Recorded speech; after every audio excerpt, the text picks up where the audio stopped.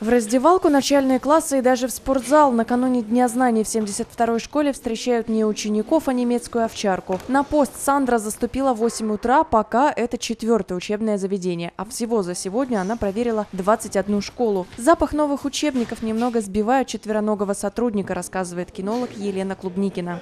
У нас сейчас в стране очень неспокойное время, и поэтому как бы сейчас востребованы собаки именно по взрывчатым веществам. И поэтому сегодня мы здесь обследуем школы Октябрьского района, лично я обследую, на предмет обнаружения взрывчатых веществ и взрывных устройств. Проверка кинологов – процедура обычная, говорят стражи порядка. За сутки до Дня знаний весь периметр учебного заведения обследуется на безопасность. И так в каждой из 115 красноярских школ. За последние пять лет со своей задачей обученные псы справляются. Взрывчатых веществ в школах обнаружено не было. Сотрудники полиции проверяют э, территорию.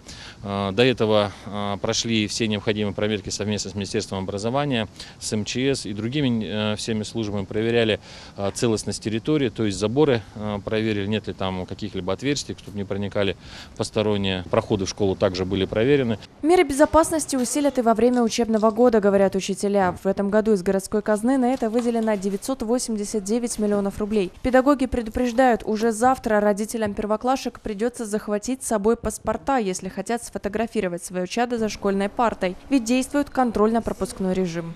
Тревожная кнопка стоит, видеокамеры стоят и внутри, и э, по территории школы. Сотрудник э, находится охранного агентства с 7.30 до 19.00. В дальнейшем э, охрану осуществляет сторожа. В боевой готовности перед 1 сентября и сотрудники госавтоинспекции. Говорят, завтра участников дорожного движения станет больше. За знаниями отправятся 106 тысяч красноярских школьников, 13 тысяч из которых первоклашки. Дорожная безопасность в День знаний будет также под пристальным вниманием полицейских. Личные составы планируют завтра увеличить в разы, говорят в ведомстве. Патрули госавтоинспекции будут дежурить не только на территории каждой школы в городе, но и на прилегающих пешеходных переходах. Помогать школьникам переходить дорогу инспекторы планируют в течение первой недели сентября. Контролировать безопасность полицейские будут не только в школах и на дорогах, но и в интернете. Беседы, как правильно вести себя в социальных сетях, проведут как с учениками, так и с родителями. Виктория Столярова, Владимир Антонов, Новости ТВК.